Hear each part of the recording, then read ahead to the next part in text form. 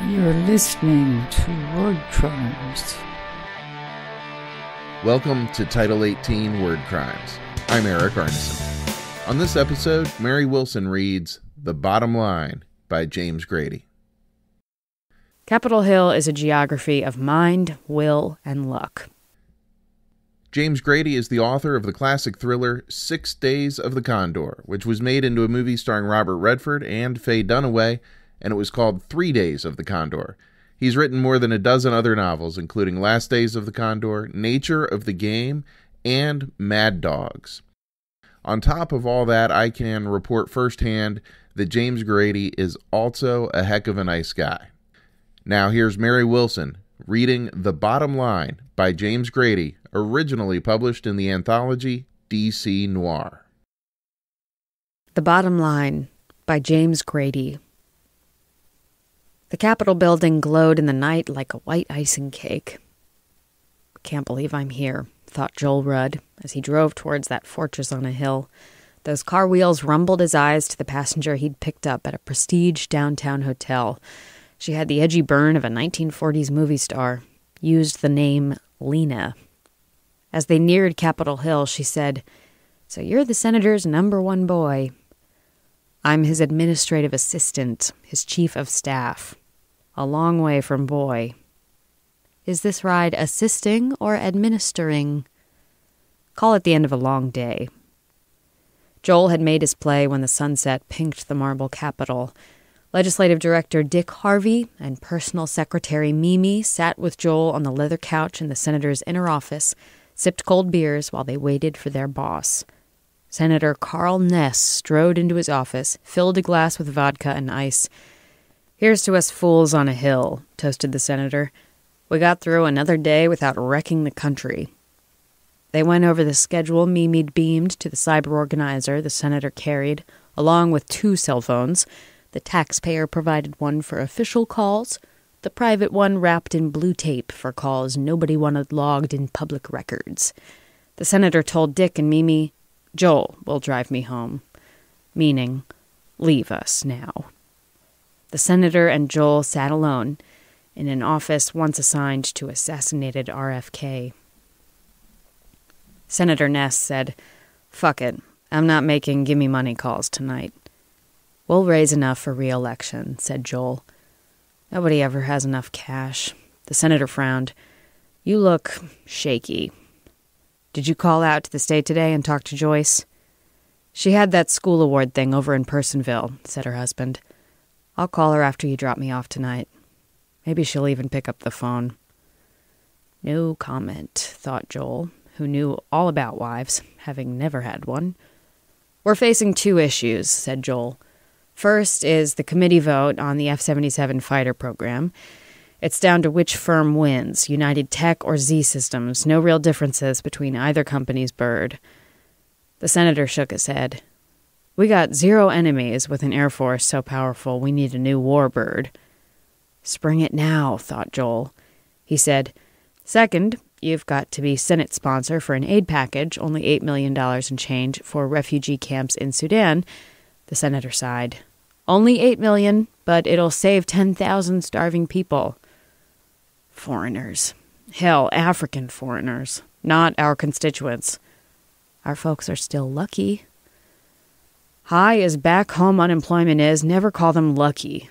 Our opposition is drooling to smear me as a big spender. A tax and spend guy ain't who we can re-elect. Ice clinked in the senator's glass. That trip got to you, didn't it?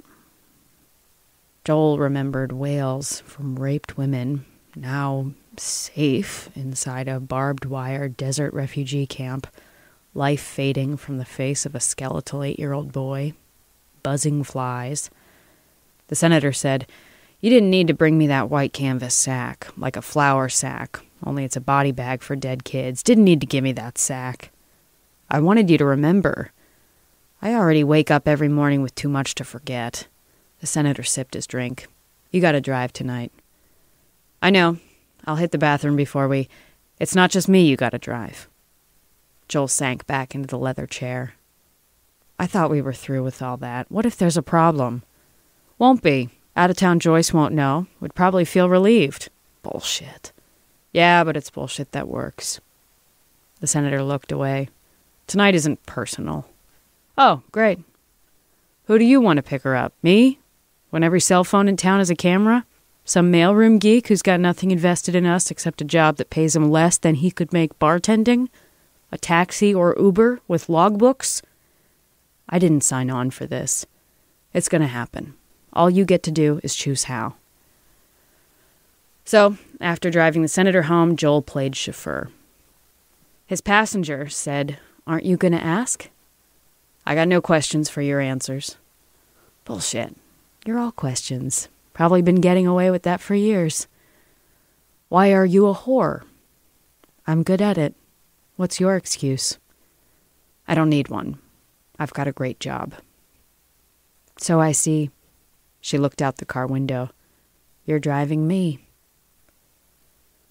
He sped past the senator's huge townhouse, drove into a courtyard of two story dwellings created as stables and slave quarters. Now, most of those boxes were homes for the thin slice of Congress's 20,000 plus employees who lived on Capitol Hill. Joel stopped at the senator's back door, slapped a key onto the dashboard. She scooped up the key. Don't catch cold out here. Long and lean and not looking back, she disappeared into that townhouse rehabbed years after the city gutting King assassination riots. Joel sped to his own house five blocks away. He lived alone, stood on the maroon rug in his living room with its Smithsonian art prints and National Park Service black and white poster of a Mustang in a blizzard. He charged upstairs, wrestled off his tie. The cell phone filled his shirt pocket like a stone, Joel looked out his bedroom window to the night. Capitol Hill is a geography of mind, will, and luck. Gang turf carved by the blades of Congress. What matters on the Hill might not count in Chicago or Paris, not in the mile away White House or at the Supreme Court, where Joel said the motto, etched on that law cathedral, should read equal justice under the 5 to 4 decision. Yet what happens on Capitol Hill might change the world. As Joel had told his protege Dick, up here, the bottom line never changes. Joel's cell phone rang after 112 minutes. He said, I'll be right there. She stood alone in the night alley. You could have gotten mugged out there, said Joel as she huddled beside him. Or worse. So what? He sped away from that back door, stopped the car at the end of the alley, idled, Next time, get your boss Cafe Au Viagra. Crimson flames roared in Joel's head. She said, Are we going to sit here and stare at the road? Tell me where to go. So much to say, so little time. I need to know, but you never get to. I know what I'm doing. Congratulations, she said. How do you like it so far? Don't fuck with me. I wouldn't take your business. And you're all business. What's your label? Politics? Look, all I want is. He stared out the windshield. Oh, I see. It's about what you want. Her hand pulled on the emergency brake. She drew towards him like a slow falling star. What are you doing? he said, as her face floated closer, closer. Guess. Her mouth covered his. He tasted lightning. She drew back, met his gaze as he managed to say, I thought girls like you never kissed on the mouth. She raged at him, both hands slapping. Joel shook her. Lena's hair flew wild in the streetlight's glow. She fought free, and he let her. She didn't run or look away, and he saw her, felt her shiver. Streets of fire drove them to his living room. She ripped his shirt, wore black lingerie, her bare legs clamped around Joel's waist as he laid her down on the living room's maroon rug. Two hours, or a lifetime later, they lay naked in the white sheets of his bed. Her hand stroked his cheek. What were your women like yesterday? All I see are characters in movies. How do they look? she said. Smart, funny, successful, pretty. Like the kind of woman a man needs. Couldn't fix them, could you? She said. Don't save me, and don't make me your personal Jesus. Joel smiled. Jesus was a man. Don't be so limited. Who knew you were so full of don'ts? I'm about out, she said. How about you? All I know is this is going to drive me crazy. Lena sealed that with her kiss. Come morning, Dick grinned when Joel finally walked past his desk. Got lost coming to work? Whatever, said Joel. What's happening? Money wars, said Dick. We've got three weeks to decide our F 77 vote. What's up with the aid to Sudan bill? They should have waited on that over there, said Dick, nodding towards the house side of the hill. Made sure they had a champion over here. Joel said nothing about his visits to the key house staffer for the bill's author, nothing about urging speed on the bill. Now, to Dick, he said, Polish our armor. The boss went for that? It's the right thing to do, but he's so freaked about re election, I can't believe he'll stick his neck out on something for nothing. He's not there yet, said Joel, but be ready. Mimi buzzed Joel. The boss wants you. The senator sat behind his desk, looked up as Joel entered the private office.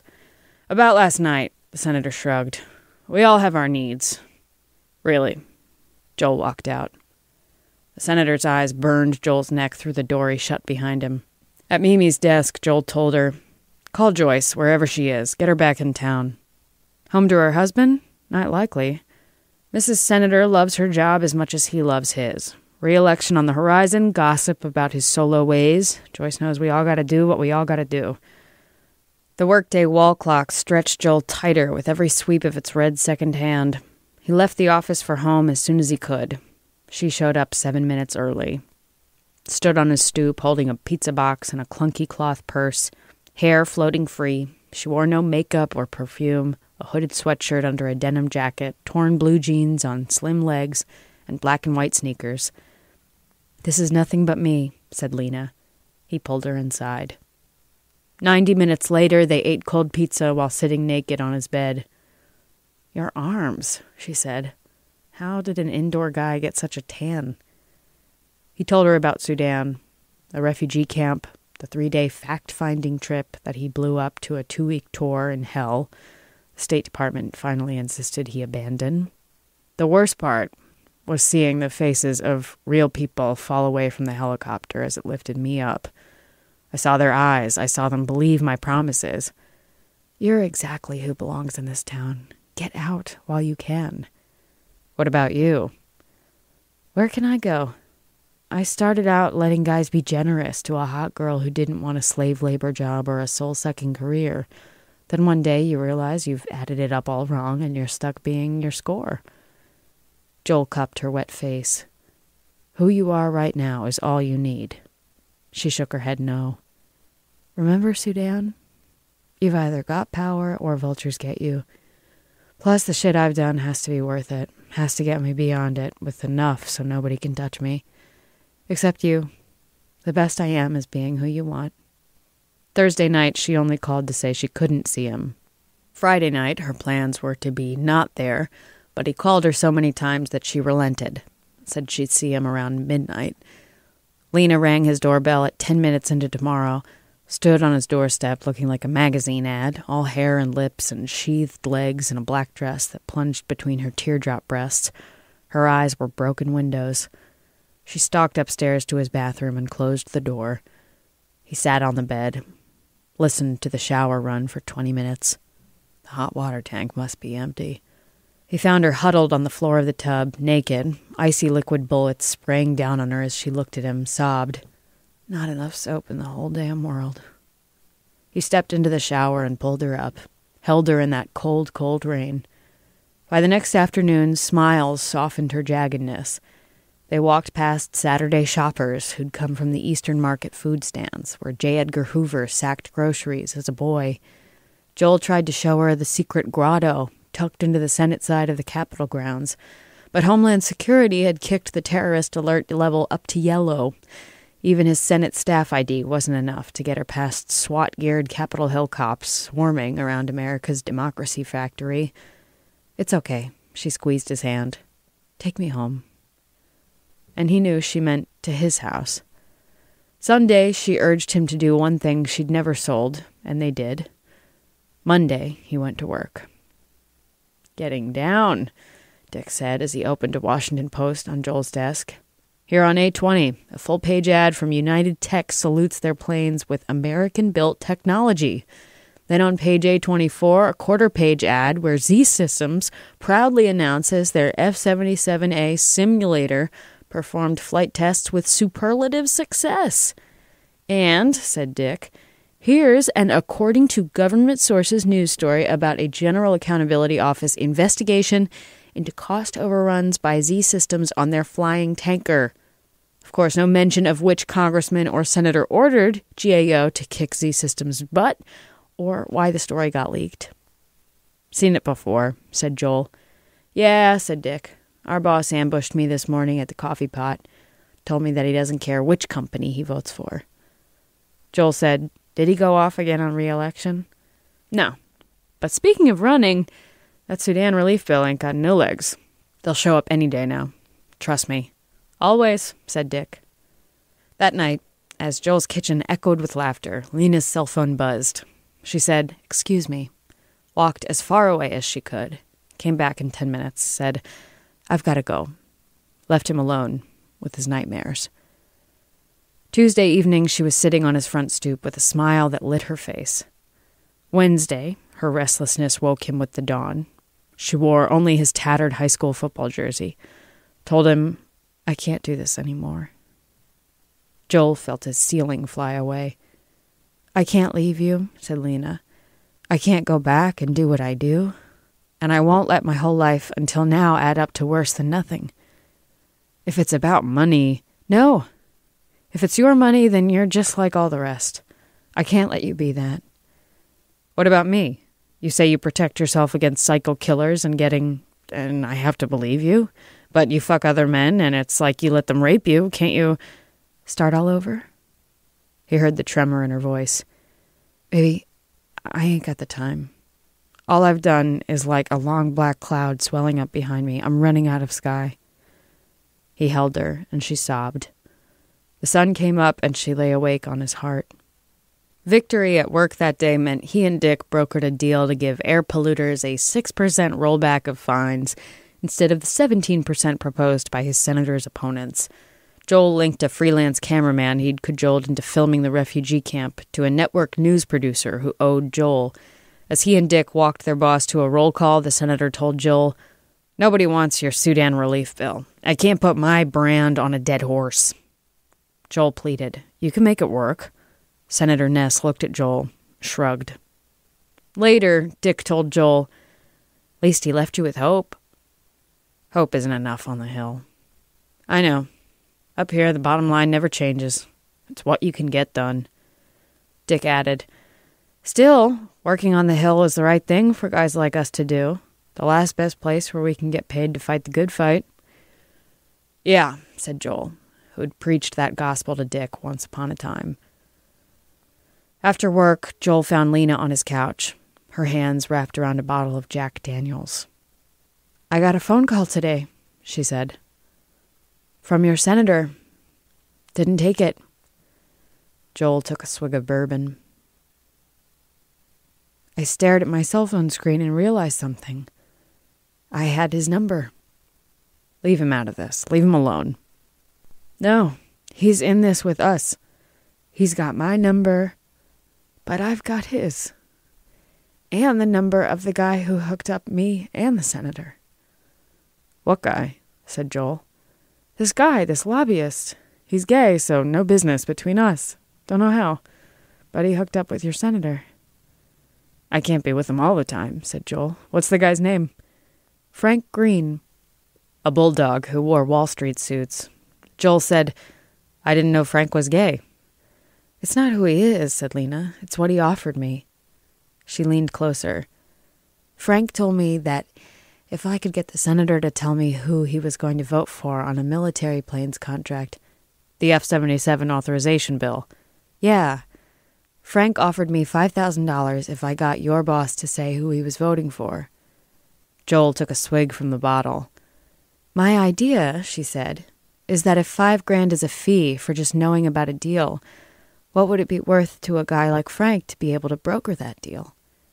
Joel's stomach churned sour acid. You told me all about it, said Lena. It's not like this vote makes any difference. It's not about America or national defense or fighting evil. We can't be about this. We're not. We're about us. This is about getting us free. It's for you. Yeah, it's for me. And you said you want me. I'll always be who I was, but this way I have something to show for it. This buys me a getaway. Here. Not enough, he whispered. We're not worth enough to do this. What other chance do we have? I'm changing my life for us. What about you? He walked to his window full of night, stared out at the city he'd chosen to make his home. He searched the darkness outside, faced what he'd never embraced. Only one way we can do this, said Joel. We need to make doing what's wrong be for more right than just us. After he told her how, she said, I'll set it up. Won't work, he said. Frank won't believe just you. By just you. I don't want you touching. He stroked her hair. Too late. Joel nodded to her cell phone. Make the call. What about the senator? Nobody needs him, said Joel. But two nights later, Joel sat in his car with the bulldog in a Wall Street suit who said, Hey, fucko, I need the senator. Across the street from this car waited Capitol Hill's neighborhood Barfield sized Lincoln Park that 198 years ago, after the Declaration of Independence, became DC's first public site for any statue honoring a woman or an African American.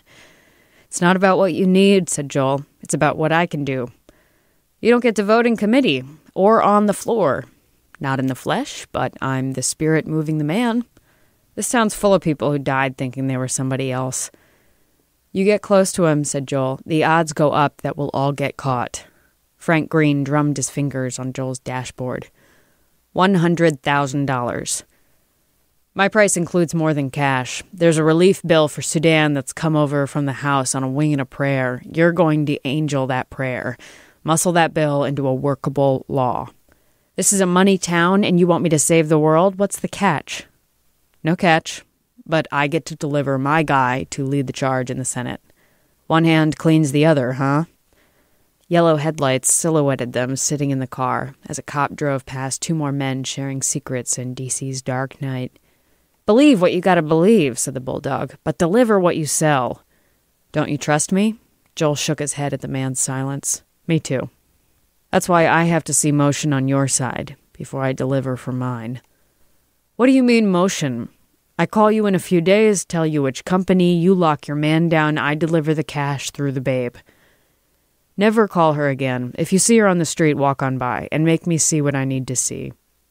On the following Wednesday, Mimi dropped a Dear Colleague letter on Joel's desk, a mass mailing to all lawmakers on Capitol Hill from the congressman who'd authored the Sudan relief measure and was now proud to announce that a caucus of business and labor groups had organized to support the bill. Letter in hand, Joel walked to the suite Mimi shared with Press Secretary Ricky. Mimi was on the phone. Good to talk to you, Glenn, Mimi mouthed the last name Parker to Joel. The senator will be sorry to have missed your call, but Joel's standing right here. Joel took the phone. Glenn, how are you? How I am is stuck. Not sure we should be talking legally. The law says there's no problem with a citizen calling his senator's office, one time anyway. They let guys like us touch base for free. Free, Glenn laughed. Then, FYI, a bunch of the senator's friends out here, plus some folks back in D.C., just formed an independent educational committee so voters realize who to touch the computer screen for next time. Dead air filled the phone call between the senator's D.C. office and the bank president's phone back home in the capital of the senator's state. Until Joel said, that sounds like great news, but you're right. It's possibly of a partisan political campaign nature, so we can't talk about it on this publicly funded phone or from this taxpayers owned office. Joel legally gave him a phone number for the townhouse that the party's senatorial campaign committee rented across the street from the Senate, told Glenn to call him there in an hour. Mimi said, Is this one of those things I don't know about? Joel knocked on the brown door to the senator's private suite, didn't wait for a come in before he did, and closed the door behind him. Senator Carl Ness sat with suit jacket off, tie loosened, three cell phones, and cyber organizer on the massive desk as he worked his way through a stack of papers. You talked to Glenn Parker recently? said Joel. The senator shrugged. Joyce ran into him at that Bay City pancake breakfast for the Girl Scouts. And I suppose they chatted about how things are and how they could be better. God bless the First Amendment. People can talk. Did you give Joyce her script? She's been out this a long time. She knows what to say. The senator smiled. What are you upset about? None of us left any fingerprints. Don't ever pull a stunt like that again without first running it by me. Hey, I am the senator. He raised his hand. Point taken, but this is a done deal. Joel dropped the Dear Colleague Sudan letter on his boss's desk. If you lead the charge for that bill over here, you're going to make a lot of important people happy. Who will I make mad? Nobody who can hurt you. The senator leaned back in his chair. We live in a brutal world. It's incumbent upon us as Americans and human beings to do all we can to help innocent men and, no, innocent children who violence, evil, and greed have blah, blah, blah. The senator raised a warning finger. Don't get me in trouble on this. Me? said Joel. Get you in trouble? That's not the way it's always been. Later, walking back from the campaign committee's house, Joel detoured to a Union Station payphone. He called the bulldog, said, Yes. You can still back out, whispered Lena that night in his bed. No, we can't, said Joel. The U.S. mail brought a package to his home the next day a disposable cell phone that buzzed in his pocket three days later. Joel put the cell phone to his ear. A bulldog said, Is this who it should be? Probably, said Joel. Z Systems, said the bulldog. I repeat, Z Systems.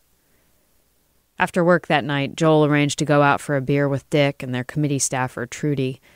They went to one of only four bars that survived the tsunami of ferns and cloth napkins gentrification that laundered Capitol Hill in the 1990s. A booths and stools joint with Hank Williams wannabes in the jukebox. A stuffed owl spread its wings above the bar mirror. Congressional aides loved the bar. It reminded them of a blue collar, real world they imagined they could still claim as their roots. Is it just me, said Trudy, or are we the oldest Hill staffers in here? Congress runs on the blood of 25 year olds, said Joel. Guys two jumps up like us are usually thinking about getting out, back to the real world and on to big bucks. Trudy asked, How many people on your staff are from D.C.? One, said Joel. We aren't like ordinary factory towns, said Dick. We aren't like any towns anywhere, said Joel. They drank cold beer. Joel let the committee staffer Trudy think it was her idea to meet with the senator. Those four playmakers huddled the next morning. Senator Ness said, Give me your recommends. The company's planes are essentially equal, said Trudy. But the future looks best with United Tech. United's bird is more bucks per copy, but Z Systems' bid is a low estimate they'll recoup in cost overruns. Plus, Z Systems has that GAO probe. Dick said, Are you telling us that United Tech is more honest than Z Systems? Even Trudy laughed. I say that the GAO investigation of Z Systems means they're the best choice, said Dick. They won't be so inclined to try a rip while the watchdogs are in their shop. Plus, Z Systems is the cheaper right now, and we pay for our pick with right now dollars. The senator said, Joel? Read the headline, said Joel. Senator Ness votes against low bidder on jillion dollar contract. It's hard to explain to the voters why it looks like you chose to overspend their tax dollars. I say it comes down to good politics married to good government. If you add up everything, your best choice is Z Systems. Makes sense, said the senator. Okay, said Dick. Z Systems it is. How about I draft a letter of commitment to the committee chairman? Trudy said, Great idea. Yeah, Dick, said the senator, except I'm voting for United Tech. Dick blurted, You said Z Systems made sense. But, said the senator, as Joel fought terror, it makes more sense and better government to build for the future. The political stuff's got to take a back seat. Dick said, So do I draft the letter?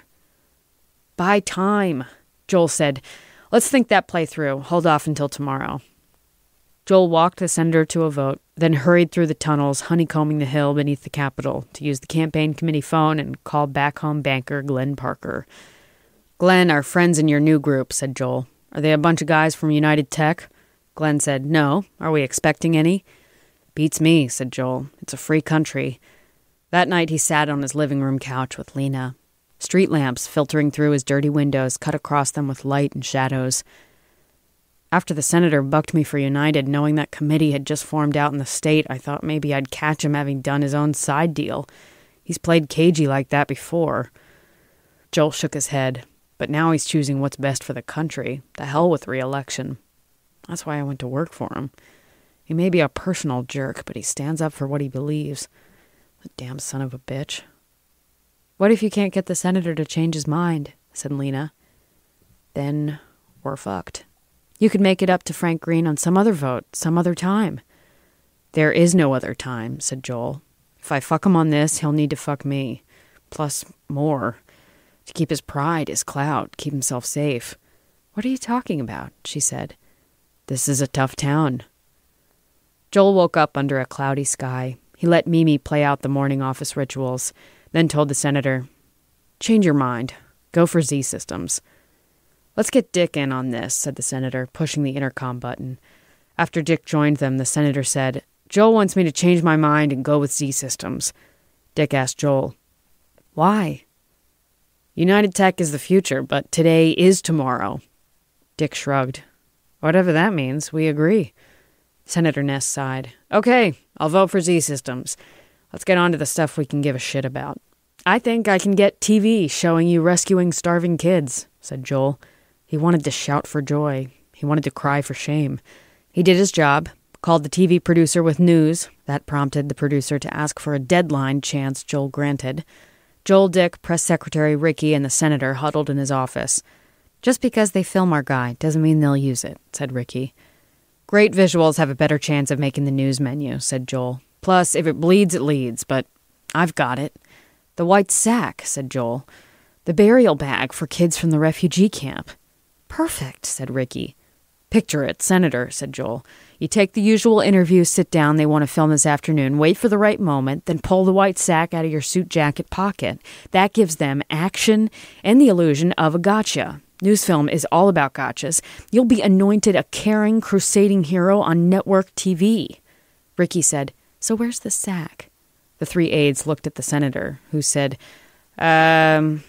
Joel snapped. Don't tell me you lost it. The senator said, Thing creeped me. Wait, it's on the pile to get auctioned off at a fundraiser or shipped to the state university's archives. The sack's at my house.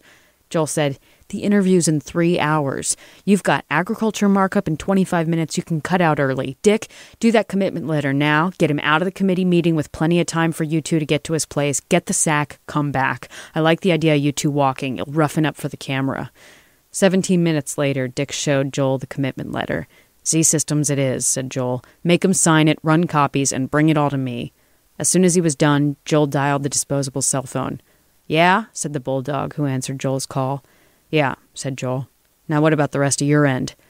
Ninety minutes. Your house. He hung up before Joel could say no. Joel punched in a second phone number. When Lena answered her cell, he asked, Where are you? Your place. Where else? Get out of there. The bulldog is on his way. Knock on Joel's office door, and Dick came in. Our boss signed the line. I'll walk you two over. Joel put the signed letter and copies in his suit pocket. Dick's frown said he thought that was peculiar, but hey, they were on the move. Joel made sure they entered the right hearing room, then hurried outside. An ocean of gray clouds rolled over the Capitol dome. Wind flapped Joel's suit jacket as he walked past Capitol Hill cops, past tourists who were realizing that visiting Capitol Hill was like hiking to a kabuki play, but not understanding Japanese. An orange public school bus crammed with inner city DC kids passed him on the way to their classroom that had a hole in its ceiling the size of a coffin. He found Lena in his living room. I won't let you do this alone, she said. Why is he coming here? To show me he knows where I live. Can we get away? Sure, he said. Anywhere you want to go. Here, she said, nuzzling his chest. I want to go right here. After this, it can be just us. He felt her nod. I can be somebody else. I can dye my hair. The doorbell rang. Raindrops spit at Joel when he let the bulldog into his house. The lobbyist stared at them. You two make a hell of a pair. Don't you talk about us. Lena hugged her arms across her chest. Frank Green shrugged. What do you got for me? Joel handed him a photocopy. As the bulldog studied that piece of paper, Joel heard the clatter of wind and rain storming against his living room windows. Our turn, said Lena. About that. The bulldog tossed a thick envelope to Lena. Tough luck. What do you mean? said Joel. Changing circumstances require compromises. Means that your appropriation is cut 50% to 50 thou. You can't screw us just because you can, said Lena. 50K is way more than you've been paid for screwing before. The lobbyist turned to the Senate aide, shrugged, in a fashion that an amateur might mistake for an apology. This town, what can you do? I didn't sign on for this, said Joel. You signed up for everything the moment you let her in your car. Stop it, screamed Lena. The bulldog thrust his finger at her. You don't give orders. Joel pushed the lobbyist's arm away from Lena. What are you going to do? growled the bulldog. You got what I gave you. Joel replied, And all you've got for sure is a piece of paper. Oh, you think so? The bulldog snapped at Lena. You think so too? Shut up. She shook the envelope in Green's face. You think I did it for this? Lena threw the envelope away. It landed on the couch by her bulky cloth purse. Why you did whatever is your problem. Joel said, Leave her alone. Oh, come on, said the bulldog. Don't you get it? Joel said, I get that we've only gotten half of what was promised. You sure you want the rest? Shut up! Lena lunged towards the couch, her purse, the money envelope. You can't fuck with us like this. Babe, getting fucked is your whole life. Not now. Lena cradled the envelope and her clunky purse. Not for us. Whoa, stop the way the world's been working, 'cause suddenly you decided you got yourself an us? Let's see. No, don't. Like a mad dog, the lobbyist whirled to Joel. You want it all? Shut up, said Lena. Stop. The bulldog surged towards her. Joel growled, You want what you really got? Out of her purse jerked Lena's hand, holding a snub nosed revolver. Bam! Window panes flashed and vibrated with the gunshot. From outside, all that seemed only like the storm.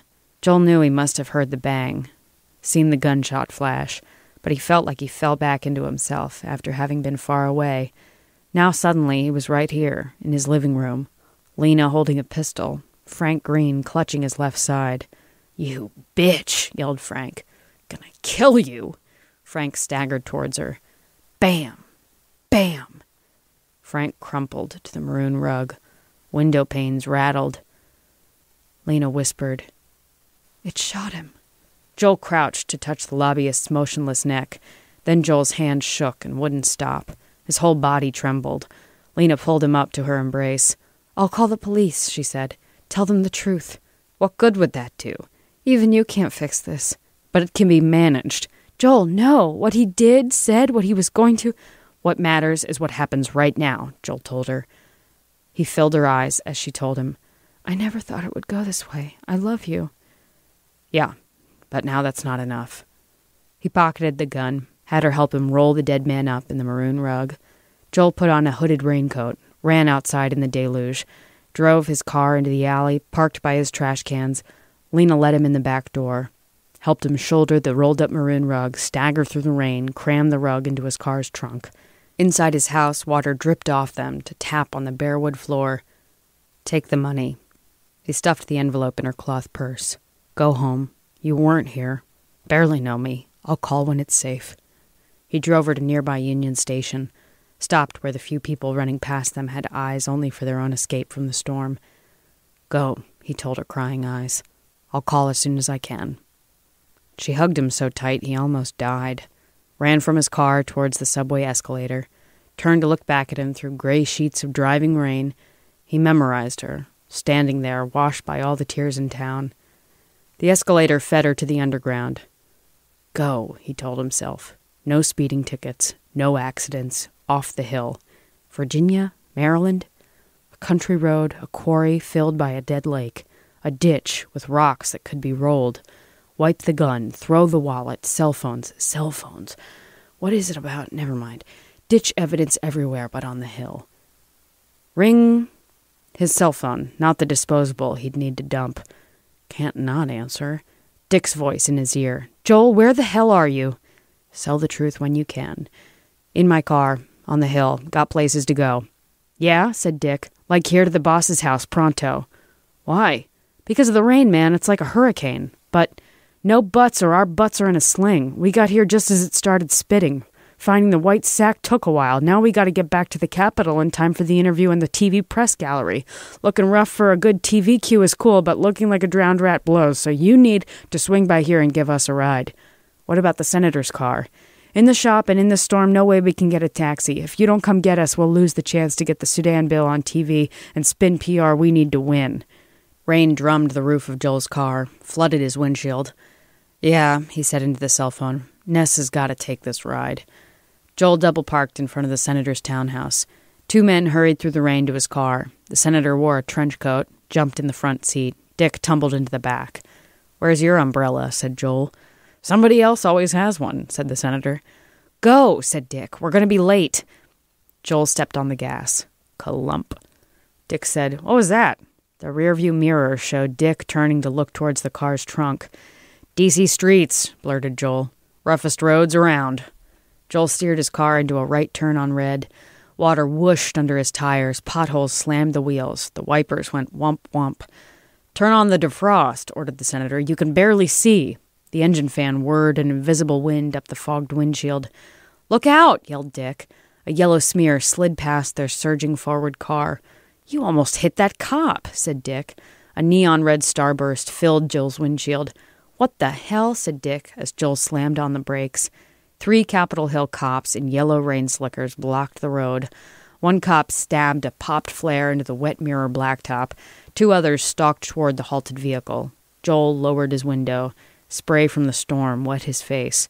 Sir, shut off your vehicle, yelled the older cop, while the younger officer kept his right hand thrust inside his yellow slicker. Now! A laser dot of red light reflected through the windshield to kiss Joel's chest. Joel shifted to park and killed his engine. The red dot danced on Joel's chest as two cops stalked to the side of the car. Sir, yelled the lead cop, the officer back there ordered you to halt. I didn't see him. I'm driving Senator Ness. The older cop snapped a flashlight beam on the senator's face. Gonna be all right, thought Joel. Gonna make it now. He's him, said the cop's younger partner. Sorry, Senator, said the ranking officer. I didn't see you, but doesn't matter. Homeland Security just bumped us up to orange alert. Fuck Homeland Security, yelled the senator. This is Capitol Hill. I'm a senator. We're in charge. Let us pass. Sir, our scenarios include a senator being snatched in a terrorist attack. That's ridiculous.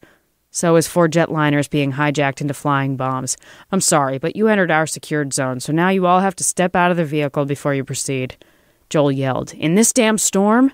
Come on, said Dick. We can still make it. That black Senate staffer stepped out of the car, kept his hands in plain sight. Fuck me. The senator stepped into the rain. Through the water blurred windshield, Joel saw three more yellow slickered cops march toward the car, one carried an umbrella, one carried a pole with a mirror for examining the underside of vehicles. The senior cop told the driver, Everyone must exit the vehicle. Joel Rudd stood on the road, arms out like Jesus, face turned up to the falling rain. Senator Carl Ness stood under an umbrella held by a yellowed slickered cop and, like his law writing aide, Dick Harvey, stared at the Capitol Hill wizard they worked with, who suddenly seemed to have gone insane. Sir, we need to pop the trunk, check it, then you can go. No, said Joel. I'm going nowhere. I'm already there. The older cop said, We're just following the rules. Joel turned his flooded face toward that guardian of law and order. Rules. I know about them. In my trunk, you'll find a body. What? Chorused the cop, the U.S. Senator, and his legislative director. A lobbyist named Frank Green. Shot dead. Rain beat down on them, Flares sputtered. Police radios crackled routine reports until a cop opened Joel's trunk, announced, He's right. The younger cop slid his hand back inside his yellow slicker. An officer lifted his radio, but his sergeant ordered, Keep this off the air. Senator Ness yelled at Joel, What have you done? Joel stared at the man he knew so well, had served so long. A thousand calculations churned behind the senator's frantic expression. Through the raging storm, Joel saw the spirit inside that man as clearly as he saw the spirit in himself. Carl Ness reached inside his suit and pulled out a white sack. Do you see what you've done? said the politician. Do you see what you've put at risk? Ten thousand lives, and you stand there flushing them down the drain. A cop exchanged his radio for his cell phone. The senator took the white sack. Now it'll take all I've got to make this happen. Suddenly, Joel saw it all through the pouring rain cell phone, fingerprints, the cell phone in the cop's hands as he reported it in, the third cell phone on the senator's desk when there should have been only two. A sequence where a bulldog and a politician set up a shaky crusader with a desperate dream girl who they'd schooled. Joel positioned to structure the corrupt deal over the senator's opposition in front of witnesses Trudy and Dick. If anyone ever cried corruption, the guilty fingerprints would belong to Fall Guide Joel. The senator's independent campaign committee set up to reap a windfall from the contract winners. The payoff to Joel and Lena was chump change to distract him, keep him quiet, drive more nails into his frame. The white sack waited in the senator's fist for what Joel would say. The whole unprovable public truth wouldn't save Joel, would cut the balls off a senator so he kept his job but had no power, would thus sentence 10,000 people to starvation, destroy a woman desperate to be free. Capitol Hill's bottom line it's what you can get done. Thunder boomed. Joel never saw the flash. His words tasted like smoke. The creep got shot because he welched on paying me for fixing the warplane vote. Wait, said the youngest cop, shouldn't we read him his rights? No one can prove me wrong, thought Joel, or will want to. Clarity shimmered through the hissing red glow of the flares, the spinning blue and blood lights on arriving police cars, the storm slick skull white glow off the Capitol dome. Joel envisioned Lena grimly marching through a DC airport. He wondered where she'd go. The color of her hair. My fall, yelled Joel, what did he say? yelled the older cop, whose partner yelled back. He said it was his fault. But Senator Ness's face said he heard Joel's offer. A look of pure understanding passed between them. Like a noble boss of a doomed sinner, the senator told Joel, I'll do all I can. Joel's nod sealed their redemptive bargain. Cuff him, ordered the older cop. Bare steel clamped around Joel's wrists. Dick Harvey lunged toward the prisoner who'd taught him how democracy works. Murder, said Dick, the word burning in his eyes. I get that. But how could you, you of all people, how dare you sell out all the best dreams up here? Joel said, Bottom line, it's what I can do. That was The Bottom Line by James Grady, read by Mary Wilson. Here are a few things I bet you didn't know about James Grady. In 1971, he was a staffer working on the Montana Constitutional Convention, which led to Montana adopting a new state constitution in 1972. Someday, I am going to get my political geek completely on and talk to James Grady about that constitutional convention. Uh, he also worked for a time with renowned investigative journalist Jack Anderson, and he sold the book Six Days of the Condor at age 24 while living in a converted garage in Missoula, Montana. And I know I said this before, but it bears repeating James Grady is also a heck of a nice guy. Mary Wilson, also extremely nice, is a reporter and producer at Slate's The Gist. You can find her on Twitter at Mary Wilson. That's it for this episode. Thank you for listening to Word Crimes. You can find complete show notes for this episode, including links to James Grady's books and much more, and our entire back catalog of podcast episodes at wordcrimespodcast.com. All of our back episodes are also available and free on iTunes or wherever you listen to podcasts. If you enjoy Word Crimes, please take a minute to rate us on iTunes. It will make us feel good and you will help other people learn about this podcast. You can find me at erikarneson.com. That's E R I K A R N E S O N.com. The site includes information about my first book, a short story collection called The Throes of Crime. It features 26 short stories and six true crime essays, and all proceeds from The Throes of Crime go to a scholarship fund. I'm also at Erik Arneson on Twitter and easy to find on Facebook. The music on this episode is by The Throes. You can find them at The Throes, T H R O E S, thethroes.com. Thanks again for listening to Title 18 Word Crimes. We'll be back soon with more great crime fiction.